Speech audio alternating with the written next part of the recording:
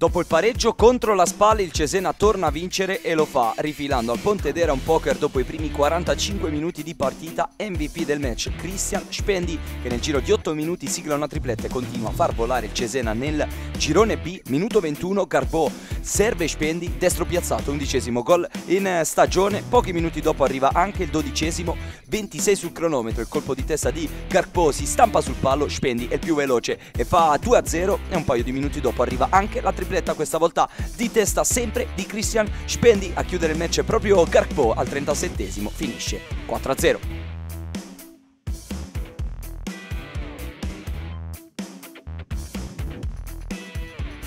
La Torres risponde al Cesene si aggiudica il derby sardo contro l'Olbia nel segno del solito Manuel Fischnaller che sale in doppia cifra in campionato.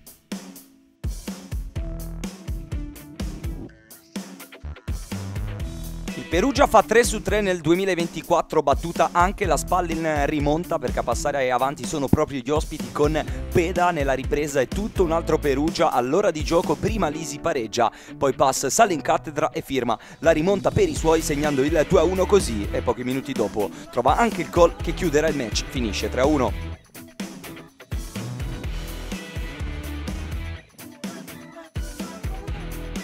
Il Pescara torna a sorridere e vince sul campo ostico dell'Arezzo, succede tutto nel primo tempo con Merola che dagli 11 metri non sbaglia e porta avanti la squadra di Zeman, che però alla mezz'ora si fa raggiungere da Gattini che firma l'1-1 da lì a poco. Di Pasquale porta nuovamente avanti il Pescara che vince la prima gara del 2024.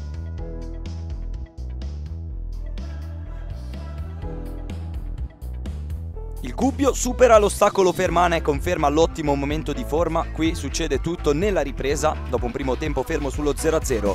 Di Massimo sposta gli equilibri tornando a segnare dopo tre turni. Gubbio che trova il 2-0 con Udo e poi rimane in 10 uomini, ma alla fine la squadra di Braglia porta a casa i tre punti.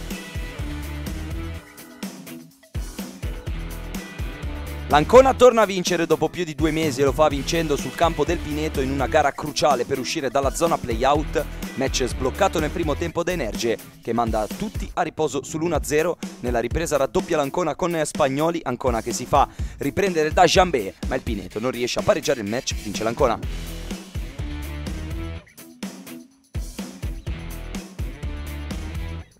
Primo successo nel nuovo anno per la Lucchese che vince contro la Recanatese dopo due sconfitte consecutive grazie a una super prestazione di Andrea Rizzopinna che prima segna poco dopo la mezz'ora e poi raddoppia 5 dal duplice fischio, mettendo subito in discesa il match per la Lucchese nella ripresa. Cala il tris Yeboah, la Recanatese reagisce troppo tardi, reagisce con Melchiorri all'ottantesimo, finisce 3-1.